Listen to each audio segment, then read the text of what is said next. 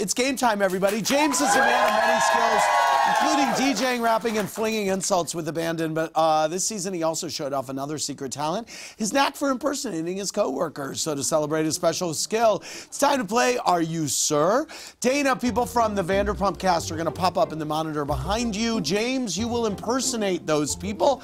Um, you, uh, Dayna needs to guess seven impressions in 60 seconds, and you both win.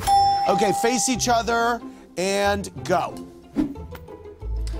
Um, look, I just don't really want him here. I just need another drink right now, and uh, it's just making me uncomfortable. It's just making me uncomfortable. Kristen? Yeah. It's not about that, Tom. It's literally about you being a.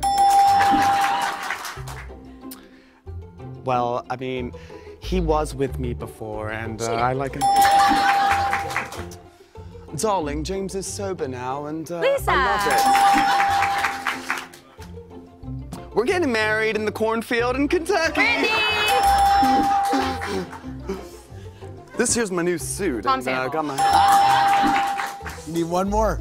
Um, um, Bobo, Bobo, Bobo, Bobo, Bobo, Bobo. Sassy. Good job, you got them